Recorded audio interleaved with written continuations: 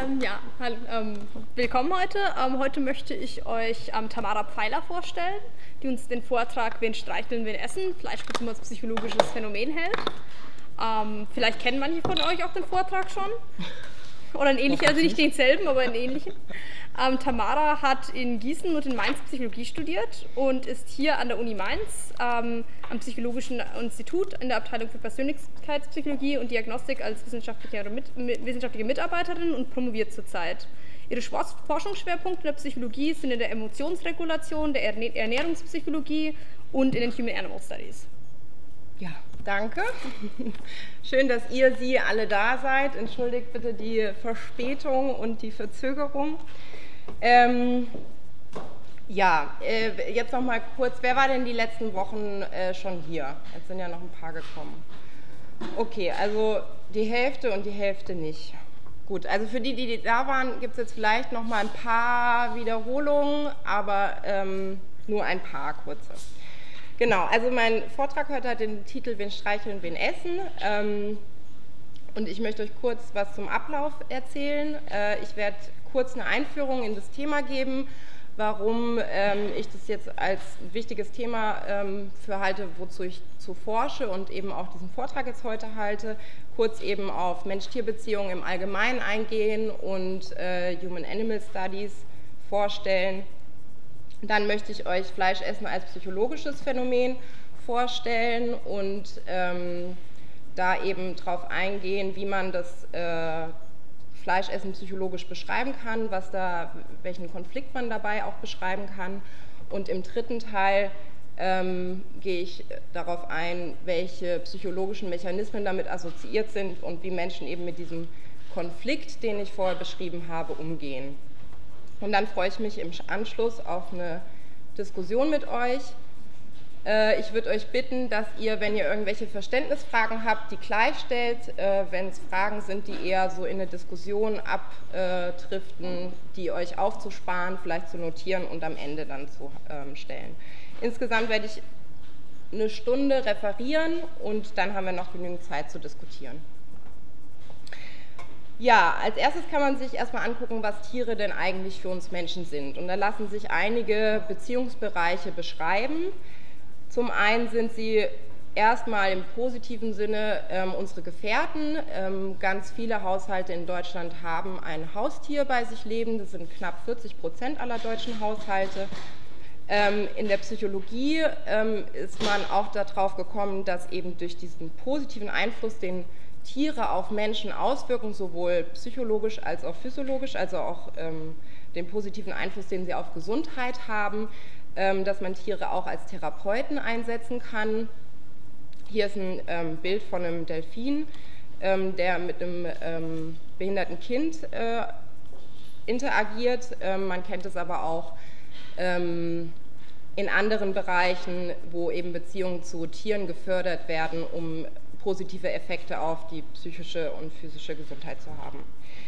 Dann ähm, sind Tiere auch vor allem unsere Nahrungsmittel, also sowohl in Form von Fleisch als auch eben ähm, Milch von Tieren oder ähm, Eier, also Ausscheidungen von Tieren. Dann tragen wir Tiere in Form von Kleidung, sei es jetzt äh, Lederschuhe, Lederjacke oder ähm, Wolle.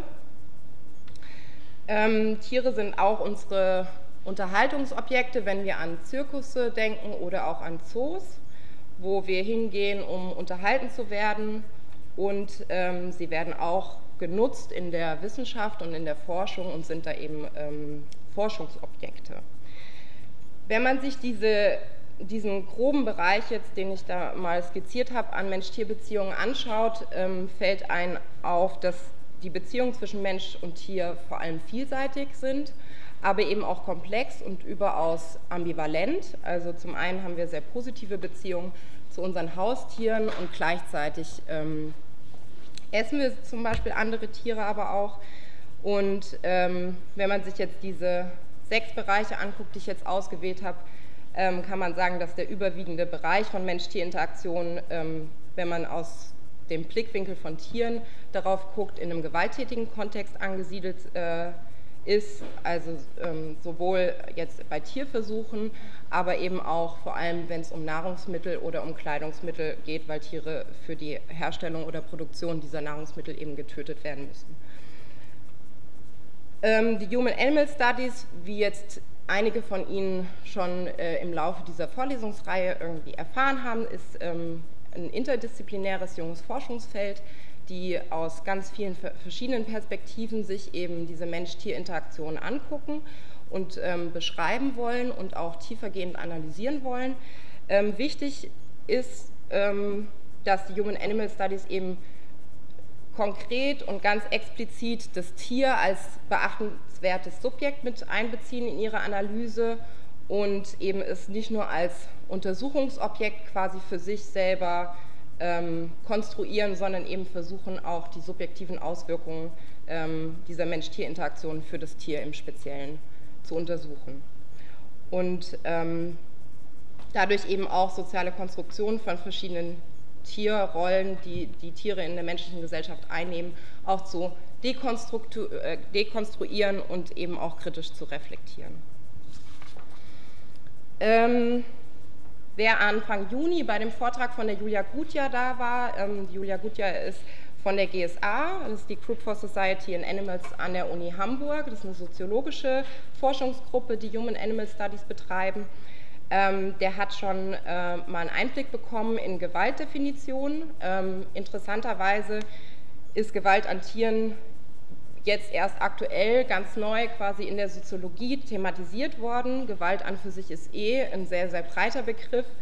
Und ähm, die GSA hat eben in einem interdisziplinären Handbuch ähm, zu Gewalt eben 2013 auch einen Artikel explizit zu Gewalt an Tieren veröffentlicht und ähm, haben erst einmal festgehalten, dass ähm, wenn man sich die Gewaltdefinition anguckt, ähm, gibt es ein Minimalkriterium, auf die sich, egal welchen Fokus die einzelnen Definitionen einnehmen, man sich einigen kann auf das Minimalkriterium, dass ähm, ähm, physische Verletzungen oder Schädigungen ähm, des Körpers eben als Minimum gelten für die Definition von Gewalt.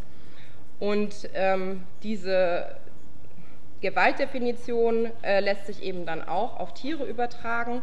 Und so argumentieren eben Buschka, Gutja und Sebastian, dass ähm, Tiere eben Schmerzen körperlich empfinden können und sich auch Schmerzen entziehen wollen, weil sie eben verletzbar sind und verletzbare Körper haben ähm, und ihre Leben auch durch, durch menschliche Handlungen eben beabsichtigt beendet werden können, ähm, müssen eben diese Gewaltdefinitionen auch auf Tiere übertragen und angewendet werden. Und ähm, sie unterscheiden zwei Ebenen von Gewalt. Einmal die ähm, private Gewalt, ähm, die wir auch alle als äh, also gesellschaftlich nicht akzeptieren. Private Gewalt wäre eben so eine persönliche Misshandlung ähm, von Tieren und ähm, die zweite Ebene, die Sie beschreiben, ist die institutionalisierte Gewalt gegen Tiere. Ähm, was eben ein System von professionalisierter, organisierter und staatlich auch subventionierter Gewalt gegen Tiere ist und die ähm, auch gesellschaftlich akzeptiert ist. Auf die gehe ich jetzt gleich nochmal ein. Also private ähm, Gewalt, das sind private Misshandlungen von Tieren, da kann man ähm, äh, dazu zählen körperlicher Missbrauch, sexueller Missbrauch äh, als Sodomie bezeichnet oder auch das Horten von Tieren. Das Horten von Tieren ist eine Ansammlung von ganz, ganz vielen Tieren in der Wohnung zum Beispiel, die schwer vernachlässigt äh, werden und dann auch ähm, krank werden. Ähm, genau, und ähm, gemeinsam hat, haben, hat diese private Misshandlung von Tieren, dass sie immer ähm, auch in einen, in einen, also zumindest der körperliche und sexuelle Missbrauch in einen ähm, zwischenmenschliche Gewalt, gewalttätigen Kontext eingebunden ist. Und da gibt es ähm, einen ein kleinerer Forschungsbereich, der, der nennt sich The Link in der Psychologie. Und da wird eben menschliche Gewalterfahrung sowohl als Ursache als auch als Konsequenz von ähm, Tiermissbrauch angesehen. So ist zum Beispiel körperlicher Missbrauch von Tieren mit dem Erleben von häuslicher Gewalt in der Kindheit assoziiert oder Personen, die sexuellen Missbrauch an Tieren vollziehen, ähm, sind selbst häufiger Opfer ähm, von sexuellem Missbrauch gewesen. Und es gibt verschiedene Korrelate zum Missbrauch ähm, auch von Frauen oder Mobbing. Und die verbindende Ursache, die dabei angenommen wird, ist, dass es ähm, bei den Tätern einen Mangel an Empathie gibt und sie dadurch eben sowohl Gewalt an Tieren als auch äh, an äh, Gewalt an Menschen ausüben können und eben so ein abgestumpftes Emotionserleben haben. Wir sind uns sicherlich einig, dass ähm, diese Form von Gewalt an Tieren gesellschaftlich ähm, nicht so äh, akzeptier akzeptiert sind und gemeinhin als Tierquälerei benannt werden. Und ähm, so sieht man das auch, dass zum Beispiel auch im Gesetz es auch eine Gesetzesgrundlage gibt gegen, gegen diese Form von Misshandlung von Tieren. Wenn wir uns jetzt die institutionalisierte Gewalt gegen Tiere angucken, ähm, sieht es da anders aus. Ähm, da kann man erstmal dazu zählen, äh, jegliche Gewaltformen, in denen das Tier mindestens physisch, also körperlich geschädigt wird. Ähm, ich habe jetzt erstmal ähm, die Tierindustrie ähm, dazu gezählt und eben Tierversuche. Und im Gegensatz zu privater Gewalt ist eben die institutionalisierte äh, Form von Gewalt gegen Tiere ähm, nicht nur sozial akzeptiert, sondern auch rechtlich legitimiert. Ähm, ich glaube, im, hatten wir bei dem ähm, Vortrag von Klaus Petrus, ähm, das ist diese vernünftige Grundklausel im ähm, Tierschutzgesetz. Also ein Tier, ein Tier darf dann geschädigt werden, wenn es einen vernünftigen Grund gibt. Und den vernünftigen Grund muss man annehmen, der ist nicht näher definiert, aber muss man annehmen, dass es eben das Bedürfnis ähm, an, an tierlichen Fleisch oder eben anderen tierlichen Produkten darstellt oder eben in Tierversuche wäre dann sowas Erkenntnis, äh, wissenschaftliche Erkenntnis. Ähm, und diese institutionalisierte Gewalt wird eben durch das Konsumverhalten der meisten Menschen in unserer Gesellschaft unterstützt, also zum Beispiel finanziell durch den Kauf von Produkten, die vom Tier stammen oder eben auch von Produkten, die an Tieren getestet wurden. Und aus psychologischer äh, Perspektive stellt sich jetzt hierbei einfach die Frage, warum jetzt institutionalisierte Gewalt im Gegensatz zu dieser privater, äh, zu der privaten Gewalt eben selten erstmal als Gewalt überhaupt wahrgenommen wird und welche psychologischen Mechanismen jetzt ähm, mit der Unterstützung von dieser institutionalisierten Gewalt einhergehen können. Ähm, genau. Dazu, das habe ich am Anfang vergessen, würde ich jetzt gern ganz kurz auf die, ein paar Hintergründe, auf ein paar Statistiken zur Tierindustrie ähm, eingehen, weil ich mich jetzt im heutigen Vortrag eben auf Fleischessen, also ähm, die Industrie konzentriere, äh, die Fleisch produziert und oder generell tierliche Produkte ähm, produziert und dazu habe ich jetzt heute ein paar Statistiken mitgebracht. Ähm, und das erste wäre erstmal eine Frage an euch, die sich mit dem Thema schon ein bisschen auseinandergesetzt haben, ähm, kennen das vielleicht schon, aber was meint ihr? 87.269 Landtiere werden in der deutschen Tierindustrie getötet. Im Quartal, im Monat, in der Woche, am Tag oder pro Stunde.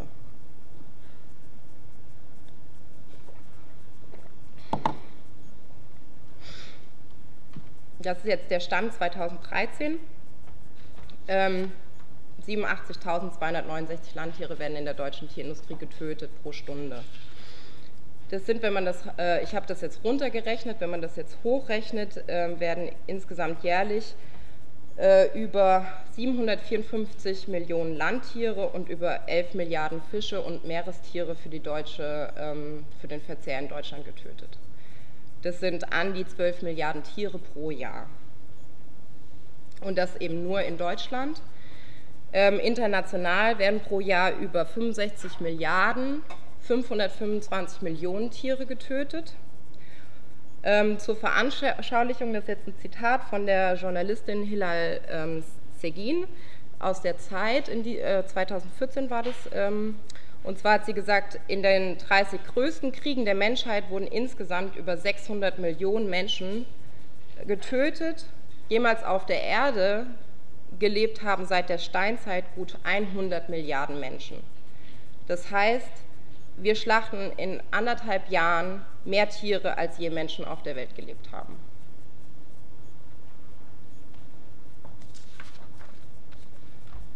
Ähm, hier gibt es auch nochmal aus der Zeit, die bringen immer wieder ganz gute ähm, Artikel, wie ich finde. Wir haben eine Tierzählung ganz aktuell, Mitte Mai war das, und da sieht man auch nochmal ganz schön hier den, die Auswirkungen jetzt der unterschiedlichen Bereiche. Also wir haben einmal hier die Nutztierindustrie, dann Haustiere in Deutschland, ähm, Versuchstiere und Zootiere und dann sieht man definitiv, dass diese 754 Millionen Landtiere ähm, den größten Bereich ausmachen.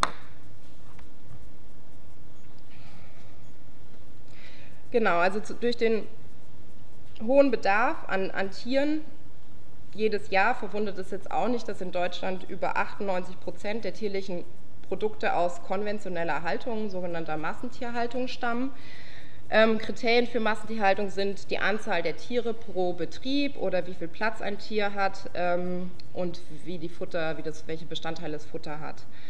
Ähm, uns ist allen klar, dass Massentierhaltung ähm, die Tiere auf engstem Raum zusammengepfercht hält, dass die Tiere meist kein Tageslicht sehen, ähm, die werden in kürzester Zeit hochgemästet.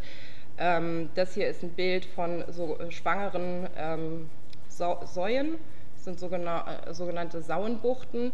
Ähm, die gebären quasi ihre Säue in diesen Buchten die sind dafür da, weil die Angst besteht, dass die Sau selber ihre Ferkel tot liegt. Deswegen wird sie da eingesperrt und kann sich weder drehen, wenden, liegen, noch irgendwas. Ähm, auch phänomenal ist, dass durch diese Überproduktion an, an und diese, ähm, dadurch, dass die Tiere so viele Hormone bekommen, kommt es eigentlich zu einer Überproduktion von, von Nachwuchs äh, wo dann eben auch viele, ähm, viele, viele den, des Nachwuchs einfach verhungern, weil die Sau sie nicht ähm, ernähren kann. Und ähm, ja, nochmal speziell auf die Milchindustrie einzugehen, muss man auch sagen, ist eben auch eine Industrie, ein ökonomisches System, was eben auf Profit ausgerichtet ist und ähm, das hat mich sehr beeindruckt. Ähm, das Beispiel der Milchkuh, also um Milch zu geben, ähm, muss eben eine Kuh ein Kalb gebären, das ist, glaube ich, jedem klar. Und ein Kalb trinkt ungefähr 8 Liter am Tag, das sind zwischen 1000 bis 2000 Liter pro Jahr. Und in, das, in der Industrie muss die Kuh aber bis zu 14.000 Liter pro Jahr geben. Das heißt, ähm, die Kuh muss, wird jedes Jahr, bekommt die wieder neu, also wird neu geschwängert, bekommt neu, ein neues Kalb damit diese, das, die, das Milchvorkommen nicht nachlässt. Und ähm, das bedeutet aber auch, dass die Kuh, während sie Milch gibt, immer schwanger ist, was rum wieder äh, die weiblichen Geschlechtshormone in der Milch enorm erhöht. Und ähm, so eine Kuh ist natürlich nach wenigen Jahren äh, am Limit fertig und bricht zusammen und wird dann eben auch geschlachtet und weiterverarbeitet.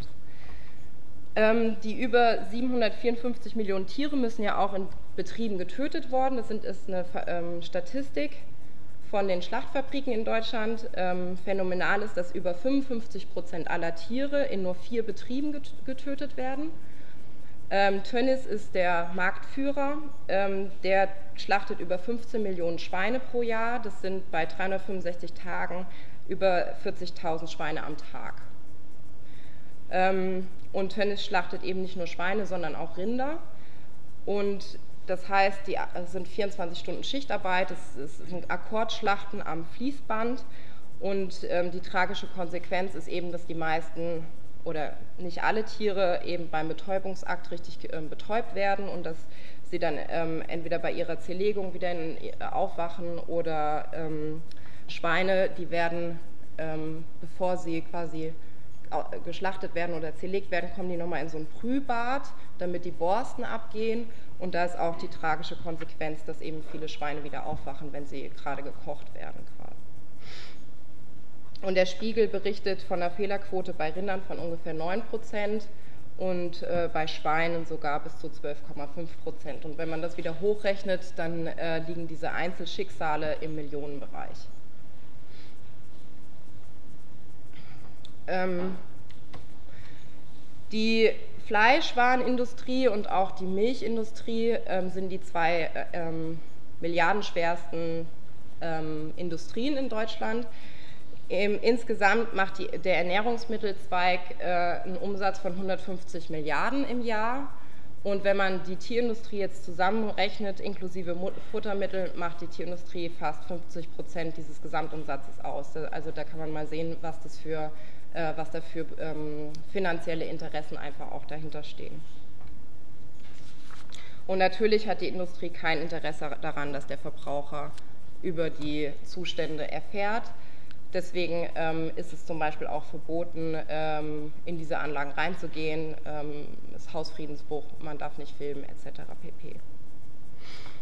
Okay, das war jetzt ein kurzer Ausflug über die Hinter zu den Hintergründen. Ähm, wenn man sich jetzt Fleischessen als psychologisches Phänomen anschaut, stellt man sich natürlich erstmal die Frage, warum essen Menschen denn eigentlich Fleisch? Und es gab mehrere Studien, ähm, die eben Leute befragt haben, was so die Barrieren zu einer vegetarischen Ernährung sind. Also quasi die Motive fürs Fleischessen abgefragt haben und darüber hinaus noch gefragt haben, warum ernährt ihr euch denn nicht vegetarisch? Und ähm, die, die Studien zeigen eigentlich immer zwei Hauptmotive. Einmal sagen die Leute, naja, ähm, ich habe Freude am Fleischessen, mir schmeckt es gut, ähm, das ist so ein Genuss. Und das zweite ähm, Motiv wäre, dass eben es eine Gewohnheit gibt, Fleisch zu konsumieren und ähm, beziehungsweise so ein Unwille da ist, sein Verhalten zu verändern. Und natürlich kann man sagen, da steckt auch noch Tradition dahinter, weil wir einfach schon äh, ganz lange Fleisch essen und auch so aufgewachsen sind. Ähm, bevor ich jetzt weitermache, habe ich äh, euch ein Video mitgebracht, ähm, das so ein bisschen auf das Bild anspielt und zwar ähm, stellt sich ja die Frage, okay, wir, wir, essen zwar Fleisch, aber die wenigsten von uns haben diese Gewaltassoziation. Also wir, wir haben irgendwie das Fleisch und ähm, wir denken aber nicht darüber nach, wo das Fleisch herkommt oder ähm, dass dafür ein Lebewesen getötet wurde. Und wenn man das mal auswechselt und sagt, naja, Sie haben jetzt irgendwie ein Hundefleisch gegessen, da hätte man die Deassoziation direkt. Und ich habe ein nettes Video gefunden im Netz, was ein bisschen witzig ist und was quasi diese, dieses Paradox so, ähm, zusammenfasst. Ist brasilianisch, also kommt aus Brasilien, passend jetzt zur WM.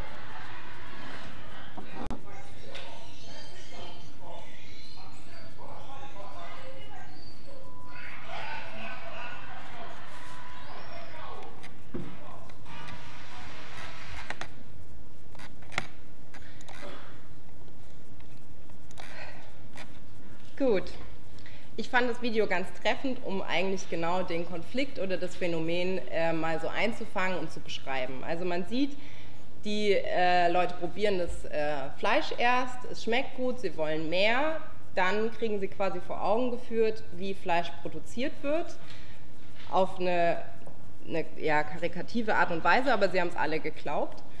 Und äh, es kommen ganz unterschiedliche Reaktionen. Die einen gehen weg, die andere, die letzte Frau ist sehr wütend geworden. Ähm, die, die, am Anfang hat es direkt wieder ausgespuckt, also mit Ekel reagiert und ihr Gesicht verzogen. Und auf genau diese Punkte werde ich im Laufe des Vortrages auch nochmal eingehen.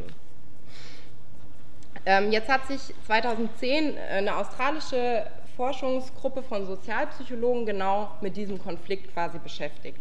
Und sie haben ein sogenanntes Fleischparadox aufgestellt und haben ähm, gesagt, dieses, ähm, denn das Bedürfnis oder das Motiv, der Wunsch oder das Verhalten, Fleisch konsumieren zu wollen, steht eigentlich im Gegensatz dazu, dass wir Lebewesen per se nicht verletzen oder töten wollen. Und ähm, dieses dieses Motiv, Fleisch konsumieren zu wollen, kann man sagen, ist, ein, ist eine persönliche Lust eben und äh, kann man als hedonistisches Motiv bezeichnen, wohingegen ähm, das Motiv, andere nicht verletzen zu wollen äh, oder töten zu wollen, kann man eher so als altruistisches Motiv äh, erstmal klassifizieren, was andere wieder zugrunde äh, liegende Mechanismen hat, warum wir das haben. Ein Punkt wäre Empathie, auf den ich nachher auch noch eingehe. Ähm, der, das zugrunde liegende Modell von diesem Fleischparadox ist jetzt in der Psychologie ein sehr bekanntes, nämlich, also was die Autoren jetzt gemacht haben, ähm, das der kognitiven Dissonanz. Ähm, kognitive Dissonanz beschreibt eigentlich, was wenn, passiert, wenn jetzt zum Beispiel unser Verhalten oder unsere Entscheidung, das wäre hier dieser Bereich, ähm, im Widerspruch steht zu unseren Einstellungen, unseren Emotionen, äh, unseren Werten. Und ähm, Dissonanz ist was ganz Alltägliches, wir kennen das alle. Ähm, jetzt mal ein anderes Beispiel äh, aus, aus dem Alltag. Ähm, das, also es passiert quasi immer dann, wenn ich mich entgegen meiner Überzeugung entscheide oder entgegen meinem Gefühl. Und das ist ja was sehr Alltägliches. Also ich hatte mir jetzt das Beispiel überlegt, dass zum Beispiel in meinem Leben wichtiger ähm, Wert wäre jetzt Ehrlichkeit. Jetzt habe ich ähm, eine wichtige Prüfung, zum Beispiel meine Abschlussprüfung, bin aus welchen Gründen auch immer schlecht vorbereitet und entscheide mich jetzt, äh, einen Spickzettel zu benutzen. Ähm, obwohl ich eigentlich die äh, Einstellung habe, dass Täuschen nicht in Ordnung ist. Das heißt, ähm, ich verwende dann den Spickzettel in meiner Prüfung und äh, entweder dabei oder spätestens danach werde ich ein schlechtes Gefühl haben, schlechtes Gewissen, schlechtes Gefühl und äh, bin dann irgendwie gezwungen, mein Verhalten vor mir selber zu rechtfertigen. Und genau dieser Zustand ist quasi beschreibt kognitive Dissonanz und ähm, ich kann jetzt diese Dissonanz ist sehr unangenehm, weil ich nicht konsistent bin in meinem Verhalten und ähm, ich versuche dann wieder eben meine, ähm, meine, mein Verhalten oder dieses Ungleichgewicht zwischen Verhalten und äh, Einstellung oder Erleben in, in, eine Konsonante, also in, eine, in, eine, ähm, in Einklang quasi miteinander zu bringen. Und da habe ich jetzt verschiedene Möglichkeiten, wie ich das machen kann. Ich kann entweder meine Einstellung verändern, obwohl das eher selten passiert, oder ich ähm, ziehe neue Informationen heran oder versuche eben durch andere Kognitionen mein Verhalten zu rechtfertigen. Das wäre jetzt an meinem Beispiel die Prüfung war jetzt so wichtig, da war Spicken einmal ausnahmsweise erlaubt. Ähm, Voraussetzung für das Entstehen von Dissonanz ist, dass man sich bewusst und frei für diese Verhaltensmöglichkeit entschieden hat und ähm, quasi dieses Konträr, also diesen Punkt eben auch im Blick hat. Sonst würden wir ja alle immer, wenn wir ähm, also sonst müssten ja alle, die Fleisch essen, immer Dissonanz empfinden und dem ist ja nicht so. Ähm, und jetzt hat sich eben diese ähm, Forschungsgruppe ähm, auch ein Experiment gemacht und versucht eben diese Dissonanz in dem Kontext zu untersuchen und ähm, untersucht eben, wie genau jetzt Menschen eben damit umgehen, wenn sie mit den Konsequenzen oder Hintergründen von Fleischessen konfrontiert sind. Und sie sind so vorgegangen, dass sie erstmal ähm, Versuchspersonen eingeladen haben und gesagt haben, es geht hier um Konsumentenverhalten. Wir haben davor noch so eine andere kleine Pilotstudie, werdet ihr bereit dazu ähm, teilzunehmen? Und da mussten die Versuchspersonen erstmal geistige Fähigkeiten einer Kuh zuschreiben. Also sie haben ein Bild gesehen von der Kuh und sollten sagen, inwieweit die Kuh fähig ist, Freude, Schmerz, Angst, Wut, zu empfinden, aber auch inwiefern sie fähig ist, ähm, Emotionen zu erkennen, ein Gedächtnis zu haben, Entscheidungen zu treffen, zu planen. Danach sind die ähm, Personen wieder abgelenkt worden mit so einer ähm, 20 Minuten Ablenkaufgabe. Und dann sind sie gefragt worden, ob sie jetzt im Zuge dieser Konsumentenstudie ähm, bereit wären, folgende äh, ähm, Nahrungsmittel zu sich zu nehmen. Da waren alle möglichen Nahrungsmittel drauf, aber eben auch Fleisch. Die Leute, die gesagt haben, sie wollen kein Fleisch essen, sind direkt rausgeflogen quasi aus der Studie, weil die ähm, Forscher wollten ja nur Fleischesser untersuchen. Und dann sind die ähm, Versuchspersonen zu, zugeordnet worden zu zwei Gruppen. Die erste Gruppe sollte die Produktion von Äpfeln beschreiben, sollte einen kleinen Text darüber verfassen, wie Äpfel produziert werden. Die zweite Gruppe sollte ähm, schreiben, wie Fleisch produziert wird, also von der Züchtung eines Tieres bis ähm, das Fleisch quasi im Supermarkt steht. Und im Anschluss daran, ähm, wenn man jetzt unser Dissonanzmodell wieder anwenden würde, würde man sagen, die Gruppe hat eine geringe Dissonanz, die Gruppe hat eine sehr hohe Dissonanz, weil sie quasi mit den Hintergründen von Fleisch, äh, wie das produziert wird, konfrontiert sind. Und im Anschluss daran wurde der negative Effekt, äh, Affekt gemessen von den Versuchspersonen oder generell der Affekt gemessen. Und sie sollten erneut äh, geistige Fähigkeiten zu verschiedenen Tieren zuschreiben. Und ähm, die Studie konnte jetzt eben zeigen, dass ähm, zum einen negativer Effekt entsteht, äh, Affekt, Entschuldigung, Affekt entsteht und vor allem in dieser Fleischgruppe, also die, die haben, fühlen sich irgendwie schlecht und dass diese Fleischgruppe vor allem die geistigen Fähigkeiten zum zweiten Zeitpunkt geringer zugeschrieben hat der Kuh als zum ersten. Das heißt, sie hat die geistigen Fähigkeiten der Kuh aberkannt. Und das Interessante war jetzt, dass ähm, je mehr sie ähm, diese geistigen Fähigkeiten aberkannt haben, umso weniger negativen Affekt haben sie gehabt. Das bedeutet, dass, dass quasi diese Aberkennung der geistigen Fähigkeiten zu der Kuh hat dafür gedient, dass der negative Affekt nicht so stark war. Wir haben quasi ihren, ihre Emotionen reguliert darüber, dass sie die Kuh abgewertet haben. Und das haben die Autoren dann dafür genommen und gesagt, okay, man kann bei Fleischessen, wenn die Produktionsbedingungen von Fleisch ähm, bewusst gemacht werden, ähm, von äh, einem Konflikt sprechen, der irgendwie gelöst werden muss. Ähm, eine, andere, ähm, eine andere Frage, die sich natürlich stellt, ist, okay, aber wir wissen doch eigentlich alle, wie Fleisch produziert wird warum essen wir es denn eigentlich dann noch? Und ähm, da wäre ein anderer Zugang ähm, aus der Sozialpsychologie auch zu sagen, man kann Tiere auch als Fremdgruppe assoziieren. Und zwar, wenn man sich den sozialen, rechtlichen und moralischen Status jetzt von Tieren verdeutlicht, ist es klar, dass es eine eindeutige Grenze zwischen Menschen und Tier gibt und dass diese Grenzziehung mit äh, gewissen Konsequenzen ähm, für Tiere eben ist und eben auch in Form von äh, institutionalisierter Gewalt gegen Tiere. Und Tiere sind klar dem Menschen nicht gleichgestellt, sie sind ihm untergeordnet und die meisten Tiere werden für menschliche Bedürfnisse oder Interessen eben genutzt. Und es gibt eine strukturelle Asymmetrie zwischen Mensch und Tier zugunsten des Menschen. Und ähm, in der psychologischen äh, ähm, Auseinandersetzung jetzt mit äh, Ab- und Ausgrenzung von Gruppen, da gibt es schon einiges dazu, eben vor allem Ab- und Ausgrenzung von menschlichen Gruppen. Und hier werden eben soziale Ungleichheiten und diskriminierende Verhaltensweisen vor allem im Kontext von Vorteilen thematisiert, ähm, auf die ich im Folgenden jetzt auch näher eingehen werde.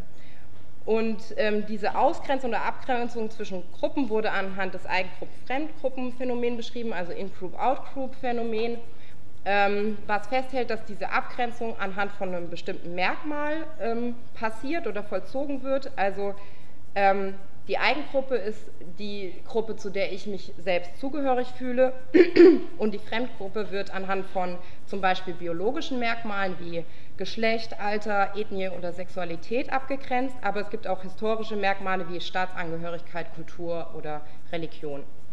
Und ähm, Forschungen haben eben gezeigt, dass diese Abgrenzung zu Fremdgruppen, ähm, dass die, die Unterschiede zwischen Eigen- und Fremdgruppe immer über, also meistens überschätzt werden durch diese Abgrenzung und dass eben Vorteile da zum Tragen kommen.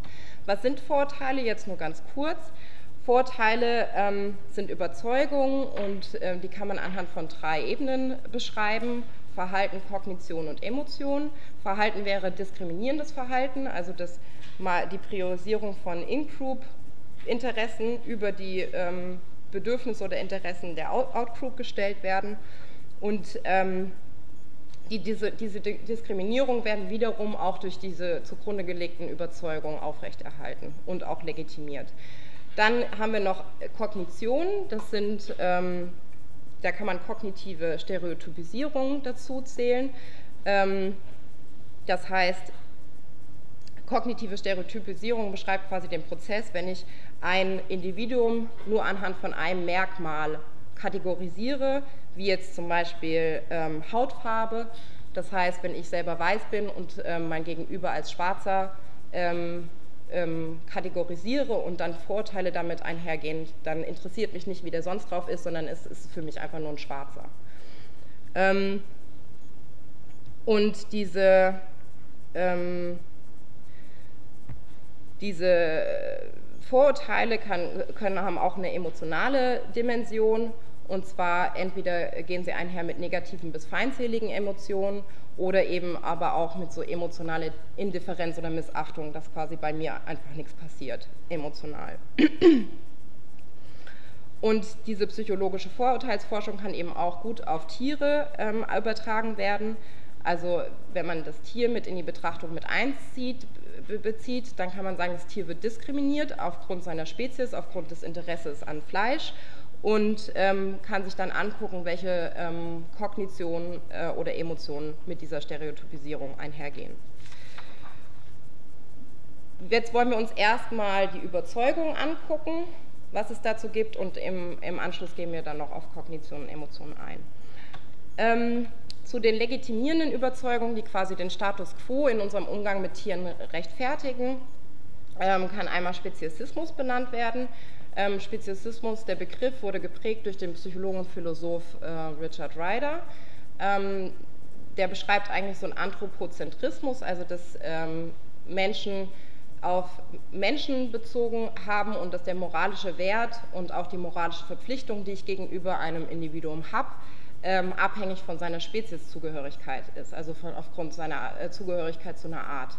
Und ähm, Speziesismus äh, generell legitimiert eben die Nutzung und Diskriminierung von Tieren im Allgemeinen.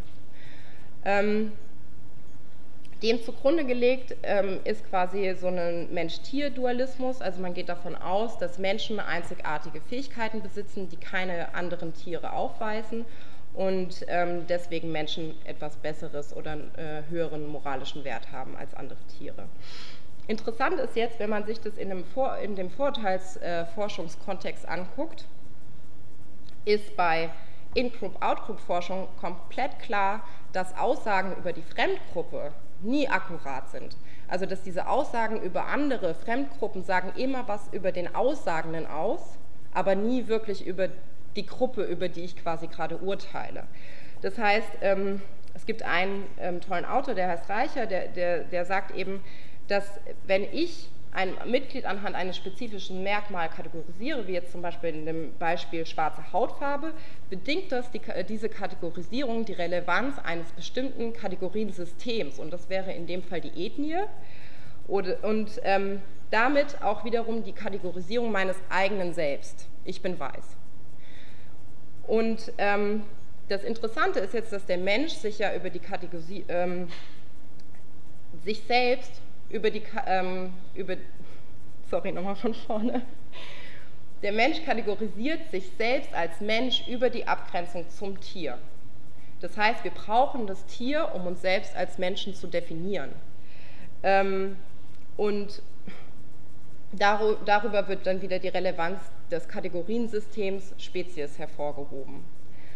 Ähm, und diese alle anderen eben nicht menschlichen Individuen fallen quasi in die Fremdgruppe und werden als Fremdgruppe dann kategorisiert. Wenn man sich jetzt ähm, diese psychologische Einzigartigkeit von gewissen Eigenschaften mal anschaut, ähm, lässt sich das auch ähm, psychologisch beschreiben. Und zwar gibt es da ähm, Untersuchungen an Laien, wie eben Menschlichkeit quasi konstruiert ist psychologisch.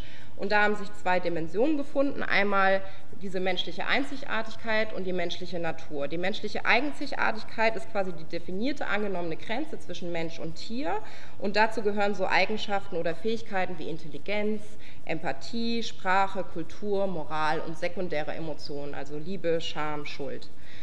Ähm, und die menschliche Natur unterscheidet jetzt Lebewesen im Allgemeinen von nicht lebendigen Dingen, und dazu gehören vor allem primäre Emotionen, so wie Wut, Freude, Schmerz, aber auch Mitgefühl und Wärme.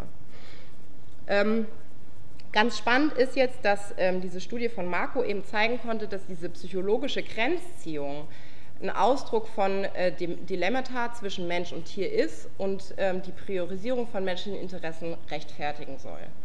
Und zum anderen kann man sagen, dass ähm, die Verhaltensforschung und die komparative Psychologie ähm, belegt, also quasi die sich mit den realen Grenzen zwischen Menschen und nichtmenschlichen ähm, Lebewesen befasst, ähm, klar macht, dass es keine eindeutige Grenzziehung, zumindest nicht anhand ähm, dieses Konstruktes, äh, möglich ist. Also es gibt diese menschlich einzigartigen Eigenschaften sind nicht, menschlich, äh, sind nicht einzigartig für Menschen. So, so, wurde zum Beispiel gefunden, dass ähm, auch Tiere Empathie aufweisen, dass Tiere auch kommunizieren können oder auch Persönlichkeit haben. Die, das andere Konstrukt, was man als legitimierende Überzeugung jetzt speziell auf Fleischessen ähm, benennen kann, ist ähm, Kanismus. Das wurde von der Sozialpsychologin Dr. Melanie Joy geprägt. Ähm, sie beschreibt eben Fleischessen als Überzeugungssystem und äh, Kanismus legitimiert jetzt eben speziell das Essen von Tieren. Ähm, Kanismus kann als eine Unterform von Speziesismus angesehen werden und beschreibt eben verschiedene Überzeugungen, die das Fleischessen jetzt aufrechterhalten wollen, sollen, können. Ähm, was sagt ihr? Fleischessen ist? Ich muss nicht die ganze Zeit reden. Ja. Genau. ähm, genau, also Fleischessen ist normal, natürlich und notwendig, wäre quasi eine konkrete, ähm, die konkreten Überzeugungen, die der Kanismus umfasst. Jetzt gucken wir uns die kurz an diese Überzeugung, was ist normal? Normal ist immer das, was von der dominanten Kultur gestaltet wird. Also soziale Normen sind von der Gruppe in einer, innerhalb einer Kultur vorgegeben, die eben die Mehrheit hat oder das die größte Macht hat. Ähm, soziale Normen sind definiert als konkrete Vorschriften für ein Sozialverhalten, sie unterliegen aber auch einem sozialen Wandel.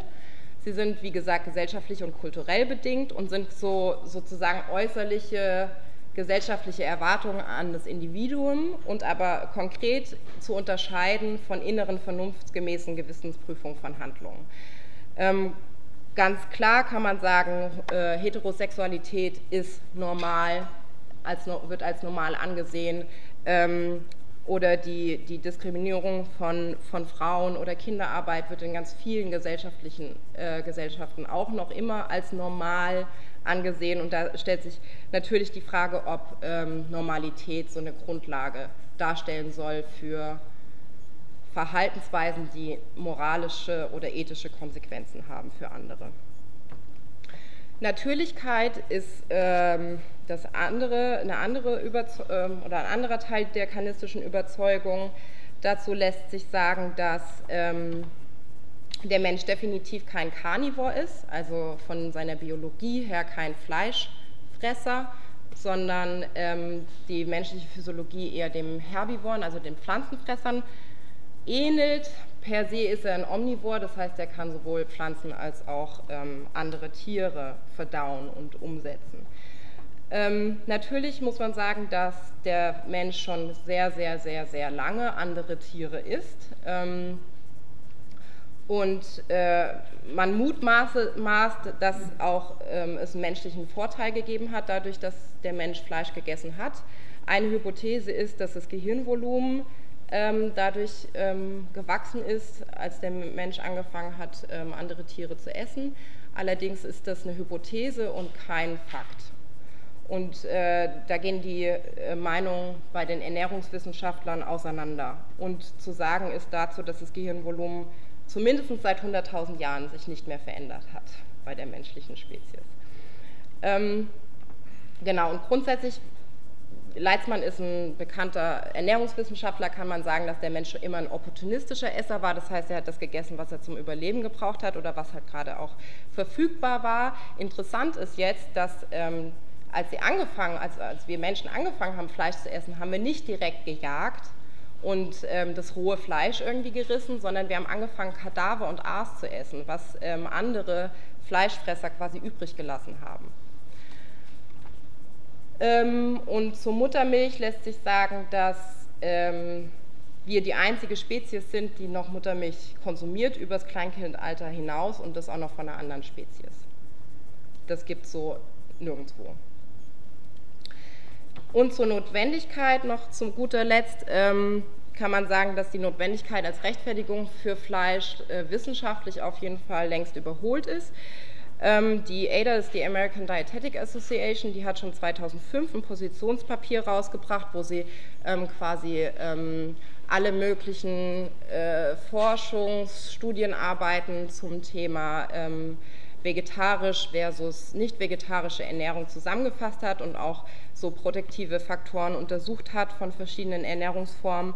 Und ähm, sie hält fest, dass eben eine Ernährung, die wohl geplant ist, ähm, welche kein Fleisch enthält oder sogar rein pflanzlich basiert ist, also eine vegane Ernährung, für äh, den Menschen jedes Alters, Alters, also vom Säuglingsalter über Kleinkind, Kinder, Erwachsenen, Senioren und auch für Sportler ähm, nicht nur als hinreichend angesehen wird, sondern sogar protektiv gilt, äh, wenn es um äh, bestimmte Krankheiten geht, wie jetzt zum Beispiel Krebs oder äh, koronare Herzkrankheiten und so weiter.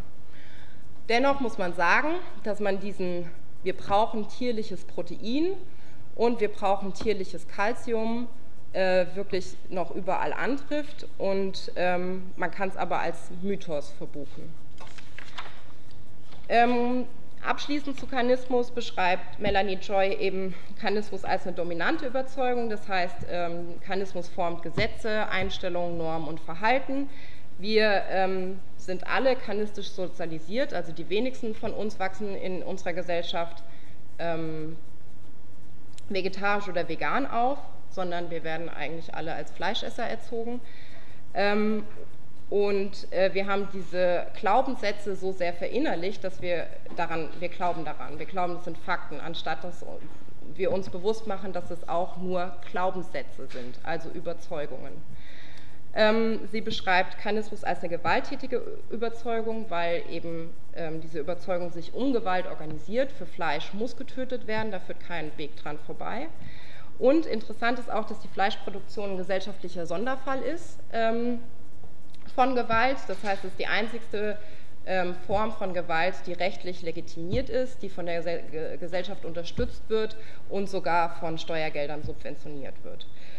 Und sie beschreibt Kanismus auch als ähm, eine verborgene Überzeugung. Das heißt, ähm, den Menschen ist häufig eben nicht bewusst, dass es sich bei Kanismus um eine Überzeugung handelt in einem dominanten und sehr profitablen System und ähm, dass es sich eben nicht um Fakten handelt, sondern um Überzeugung. Ähm, gut.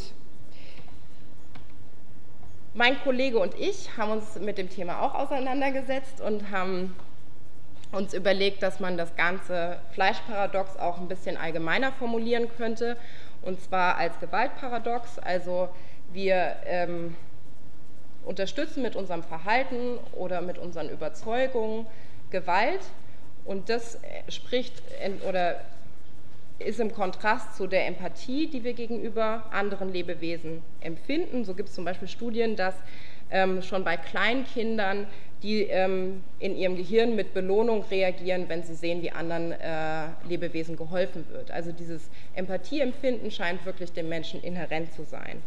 Und ähm, dieses Empathie, also diese Gewalt, die ausgeübt wird an anderen, verletzt dieses Empfinden bei uns moralisch, emotional. Genau, und deswegen kann man dieses Paradox ganz gut verallgemeinert beschreiben, jetzt nicht nur auf das Fleischessen bezogen. Jetzt stellt sich allerdings die Frage, wie jetzt die, wie Menschen generell mit diesem Konflikt umgehen. Also es, dieser Konflikt entsteht ja nicht nur, wenn wir gerade Fleisch essen und uns jemand sagen, aber weißt du, wie dieses Fleisch da auf deinen Teller kommt, sondern dieser Konflikt entsteht auch, wenn wir uns mit dem Thema auseinandersetzen. Und ähm, Bisher gibt es eben vor allem äh, in der Literatur zu Fleischessen ähm, verschiedene psychologische Mechanismen, die ähm, Personen anwenden und ähm, diese, ähm, um sich eben moralisch in irgendeiner Form von der Gewalt gegen Tiere im Kontext der Fleischproduktion zu distanzieren. Und diese Distanzierung ähm, kann, äh, kann, wird als moralisches Disengagement in der Psychologie beschrieben. Das ähm, Moralisches Disengagement ist so eine Art ähm, moralische Selbstentlastung, welche vor allem auch im Kontext von Diskriminierung und Gewalt ähm, gegen andere Gruppen beschrieben wurde und die so eine Überlegenheit der eigenen Gruppe und der eigenen Einstellung ähm, schaffen kann, soll. Ähm, Im Kontext jetzt von Fleischessen kann man sagen, dass es generell schon mal eine räumliche Distanzierung gibt zu Gewalt gegen Tiere ähm, durch eine geografische Auslagerung von den Orten, wo Gewalt gegen Tiere vollzogen wird. Also wir haben keine Schlachtfabriken mitten in der Stadt, äh, wo wir alle reinlaufen können und uns das angucken können, sondern die sind irgendwo, wir wissen eigentlich gar nicht wo. Ähm, es ist keine öffentliche Handlung mehr, die Tötung an Tieren. Und wenn wir Gewalt an Tieren im öffentlichen Raum sehen, dann äh, sind wir bewegt wahrscheinlich davon. Und auch ähm, auf der sprachlichen Ebene lassen sich Euphemismen beschreiben. Ähm, so würde man dann irgendwie von äh, der Produktion von Fleisch sprechen, anstatt zu sagen, dass das Tier dafür getötet und geschlachtet wurde oder zerlegt. Psychologisch ähm, lassen sich jetzt wieder ähm, verschiedene Ebenen beschreiben. Jetzt muss ich mich ein bisschen sputen. Und zwar einmal wieder die kognitive, auf der kognitiven Ebene, auf der emotionalen Ebene und verhaltensbasiert. Ähm, kognitiv, zu kognitiven Stereotyp, äh, kognitiv lassen sich diese Stereotypisierung, von denen ich vorher schon mal gesprochen habe, festhalten. Ähm, in, auf der einen Seite, wie das Bild schon schön zeigt, dass wir kategorisieren. Wir haben Tiere, die gelten als essbar und andere als nicht essbar. Wenn wir jetzt irgendwie ein Restaurant hätten, was jetzt äh, ganz deliziöses Hundefleisch auf einmal anbieten würden, würden die Leute auf die Barrikaden gehen. Sieht man auch immer wieder schön daran, wenn, wenn so ein Bericht aus China kommt, wie, wie da irgendwie jetzt äh, traditionell ein Hundefleisch festgefeiert wird und die Leute sich darüber aufregen. Ähm, da gibt es auch Studien zu, die das untersucht haben, ähm, und zwar über den zugeschriebenen ähm, geistigen Fähigkeiten. Und ähm, die zugeschriebenen geistigen Fähigkeiten sind deswegen immer so interessant, weil ähm, sie in einem ähm, sehr stark mit einem moralischen Status assoziiert sind. Also je geringer ich die geistigen Fähigkeiten von einem Lebewesen einschätze, umso geringer wird auch sein moralischer Status oder die moralische Verpflichtung, die ich dem Lebewesen gegenüber empfinde. Und diese geistigen Fähigkeiten kann man ähm, einmal als Empfindungsfähigkeit ähm, beschreiben. Da gehört eben so Erleben von Schmerz, Hunger, Angst, Wut, Freude dazu, aber auch als Handlungsfähigkeit, was ich vorhin auch schon mal gesagt hatte, so wie Selbstkontrolle, moralisches Verhalten, bewusstes Handeln und Planen. Und ähm, da haben sie einfach mal gefragt, wie, wie, ähm, wie würde man das meint, also die geistigen Fähigkeiten einschätzen und wie hoch ist die Essbarkeit des Tieres einzuschätzen. Und hier zeigt sich sehr schön, dass hier unten, also in der, die, die am meisten äh, geistigen Fähigkeiten bekommen, sind die Tiere, die wir nicht essen. Also es ist eine australische Studie, deswegen finden wir hier auch das Känguru. Ähm, die und die, die wir als essbar ähm, einschätzen, befinden sich, ähm, also auf jeden Fall haben geringeres Mind, also geringere geistige Fähigkeiten. Spannend finde ich jetzt auch hier, dass zum Beispiel der Hund am, am höchsten eingeschätzt wird in den geistigen Fähigkeiten, sogar noch über einem Gorilla oder einem Affen, was äh, ja definitiv nicht so ist. Ähm, da man jetzt aber davon ausgehen kann, dass äh, die Essbarkeit, die gab es ja als erst. Also wir wachsen ja in unserer Kultur ein, auf und das, da werden die, die Essbarkeit der Tiere wird erst quasi festgelegt und dann folgt das Mind. Deswegen war es jetzt äh, interessant ähm, für die, für die, ähm, für die Forscher ähm, zu gucken, was passiert da denn eigentlich? Und diese Abwertung von äh, geistigen Fähigkeiten kann man auch als äh, Objektifizierung beschreiben. Ähm, Objektifizierung kommt aus, dem, aus der Forschung zu sexueller Objektifizierung, also Feminismusforschung, sexuelle Objektifizierung von Frauen. Ähm, Kant hat jetzt schon im 18. Jahrhundert beschrieben äh, als äh, Sexual love makes of the loved person an object of appetite. As soon as that appetite has been stilled, the person is cast aside as um, he casts away a lemon which's been sucked dry. Also sobald ich mein Bedürfnis nach äh, meinen sexuellen Appetit gestillt habe, ähm, ähm, ist das Objekt meiner Begierde nicht mehr wichtig für mich. Das heißt, dieses Objekt der Be Begierde soll mein Bedürfnis stillen und das betont eben die Instrumentalität ähm, des Objektes. Ein anderes Kriterium wäre oder äh, Beschreibung von Objektifizierung ist, dass ähm, die Persönlichkeit oder eben geistigen Fähigkeiten des Objekts verleugnet werden. Ähm, was hat sich jetzt gezeigt? Ich muss jetzt hier ein bisschen springen, dass ähm, dass bei Menschen, die objektifiziert werden, also wo, wo es einen Körperfokus gibt, wo die Versuchspersonen ähm, sich halbnackte Männer oder Frauen angeguckt haben, die eine Gruppe, die andere Gruppe hat sich angezogene Menschen angeguckt, hat sich gezeigt, dass die Leute, die mehr diesen Körperfokus hatten, tatsächlich den Objekten ähm, weniger Empfindungsfähigkeit und eine verringerte Schmerzsensitivität zugesprochen haben, aber auch, und das ist äh, das Wichtige, eben eine geringere moralische Verpflichtung.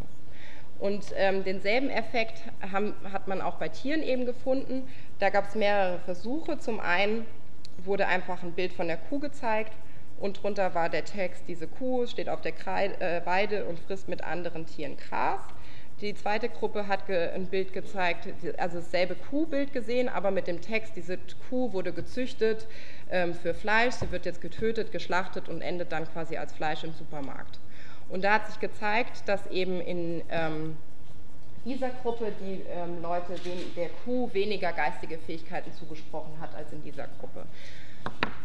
Und genauso interessant war auch, dass auch ähm, das Schmerzempfinden und die moralische Verpflichtung geringer bewertet wurden, wenn die Personen vorher Fleisch gegessen hatten, als die Gruppe, die vorher einfach Nüsse gegessen hatte. Das heißt, Tiere werden objektifiziert um sie zu essen. Eine weitere Distanzierung, die man ähm, beschreiben kann, ist die emotionale Distanzierung. Und zwar ähm, ist es interessant, dass ähm, bei, bei Leuten, die kein Fleisch essen, die berichten von Ekel vor Fleisch. Jetzt stellt sich die Frage, haben die per se einen höheren Ekel vor Fleisch oder wie kommt dieser Ekel vor Fleisch auf einmal zustande?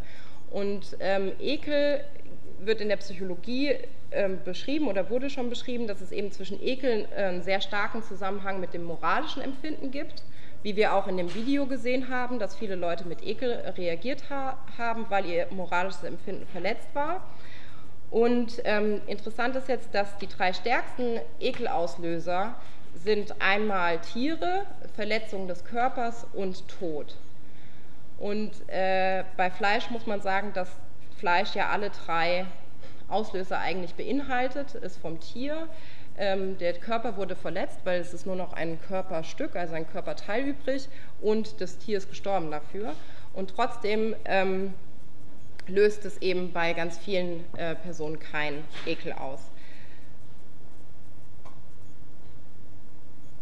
Da ist die, Theo die, These, dass eben moderne Fleischproduktion diesen Tierbezug eliminiert. Das heißt, wenn wir Fleisch sehen, denken wir nicht mehr, haben wir nicht mehr den Bezug zu dem lebendigen Lebewesen, was es einmal war, äh, weil wir jetzt auch nicht mehr irgendwie einen ganzen äh, Schafskopf irgendwie beim Metzger liegen haben. Ähm, man kann also sagen, dass Fleisch oder die Wahrnehmung von Fleisch ähm, verzerrt ist.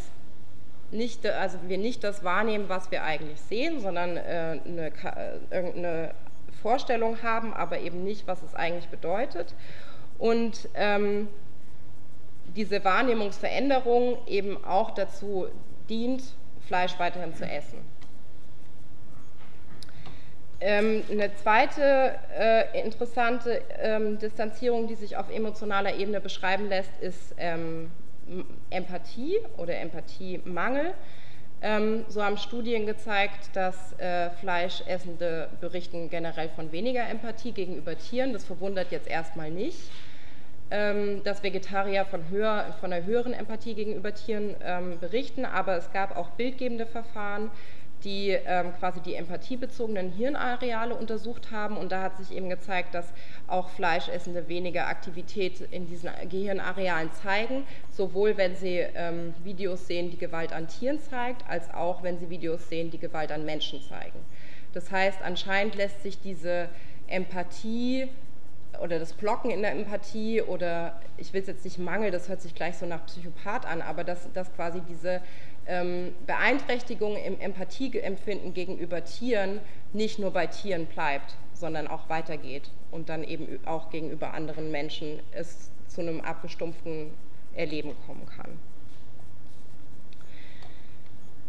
Die dritte, und dann komme ich auch zum Schluss, ähm, die dritte Distanzierung kann man äh, auf der Verhaltensebene beschreiben. Ähm, ist, ist die klarste Distanzierung, würde ich sagen, ohne groß psychologisches äh, Rumgefrickel, sondern einfach sein Verhalten zu ändern. Ähm, und äh, da zeigt sich eben, dass jetzt die, die ähm, Vegetarierinnen und Veganer in den letzten Jahren ähm, angestiegen sind. So gibt es in Deutschland momentan, schätzt der WEBO, 7 Millionen Vegetarierinnen, das sind 8 bis 9 Prozent der Gesamtbevölkerung und 1,2 Millionen Veganerinnen, also 1,5 Prozent. Genau, dann fasse ich nochmal kurz zusammen und dann komm ich, bin ich fertig. Also, ich habe versucht, euch heute einen kleinen Überblick zu vermitteln über das, was es bisher in der Psychologie konkret jetzt zum Thema Fleischessen gibt. Ähm, ich habe euch versucht, ein bisschen was über die Hintergründe mitzugeben, ähm, über die Tierindustrie und quasi darüber das Problemfeld auch erstmal aufzumachen, was ist jetzt aus einer Sichtweise der Human Animal Studies konkret zum Fleischessen, wo da das Problem liegt. Ähm, dann habe ich versucht, das Ganze bisschen einzuordnen äh, in, in sozialpsychologische Erkenntnisse zu Vorurteilsforschung, ähm, dass man die eben auch auf das Verhältnis von Mensch und Tier anwenden kann, habe äh, was zu Speziesismus und Karnismus erzählt, die quasi legitimierende Überzeugungen darstellen oder beschreiben, die den äh, gängigen Umgang mit Tieren ähm, rechtfertigen. Und ähm, dann habe ich äh, die Forschung vorgestellt, die eben dieses Fleischparadox beschreiben ähm, als psychologischen Konflikt und bin jetzt zum Schluss nochmal auf verschiedene ähm, psychologischen, psychologische Distanzierungsmechanismen eingegangen. Also sei es ähm, Stereotypisierung, Kategorisierung oder auch so ein Emo äh, Ablocken von Emotionen. Äh, es bleiben auch noch ein paar offene Fragen, ähm, die wir vielleicht aber dann auch in der Diskussion noch besprechen können. Und dann möchte ich abschließen mit einem Zitat von Jeremy Bentham. Das ist ein Philosoph, der hat es 1828 schon gesagt. Und zwar, ähm, ich zitiere, es mag der Tag kommen, an dem man begreift, dass die Anzahl der Beine, die Behaarung der Haut oder das Ende des Kreuzbeines gleichermaßen ungenügende Argumente sind, um ein empfindendes Wesen dem gleichen Schicksal zu überlassen. Warum sonst soll sonst die unüberwindbare Grenze gerade hier liegen? Ist es die Fähigkeit zu denken oder vielleicht die Fähigkeit zu reden? Aber ein ausgewachsenes Pferd oder ein Hund sind unvergleich vernünftigere sowie mitteilsamere Tiere als einen Tag, eine Woche oder gar einen Monat alter Säugling. Aber angenommen, dies wäre nicht so, was würde das ausmachen? Die Frage ist also nicht, können Sie denken oder können Sie reden, sondern können Sie leiden. Danke für eure Aufmerksamkeit und ich freue mich auf die Diskussion.